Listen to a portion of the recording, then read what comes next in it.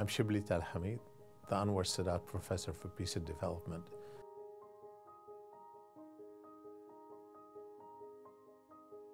In the Middle East, every culture and religion says peace be upon you. So peace is something that you wish on someone else.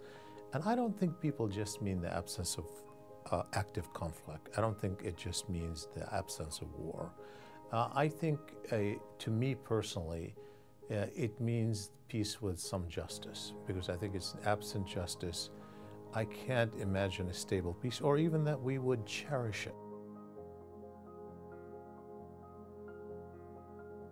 And I happen to think that the, the most severe cases of injustice are ones that have built-in deep humiliation of one party or the other because I think humiliation is one of the most impactful feelings a human being can have uh, to motivate them ultimately into doing the unthinkable.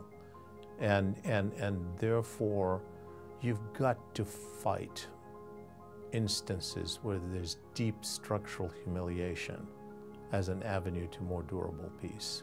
What I find is missing is, at least in the discourse that we have uh, uh, related to conflict is that usually that discourse is uninformed. And so one of the things that I could add value is add more information. So I do a lot of polling uh, to, to enhance the discourse, to, to enhance uh, um, uh, the possibility of understanding.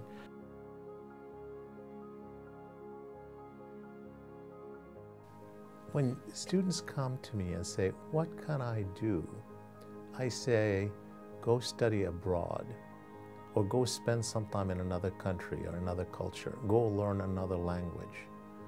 Uh, and, and that is so practical because we see it having such a profound impact on people's lives.